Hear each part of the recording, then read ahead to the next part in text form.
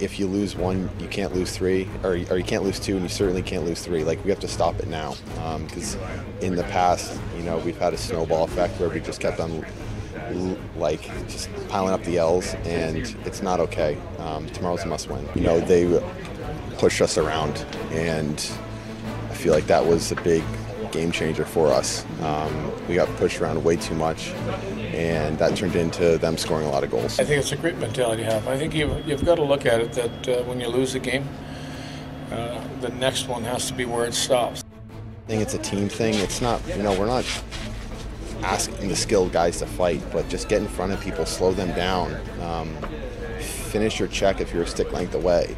And we didn't do that last night. I think the the emotion of of losing is a good thing. Like there was nobody that was happy, um, and to have one of your guys come out and say what he said, um, we're in the right place.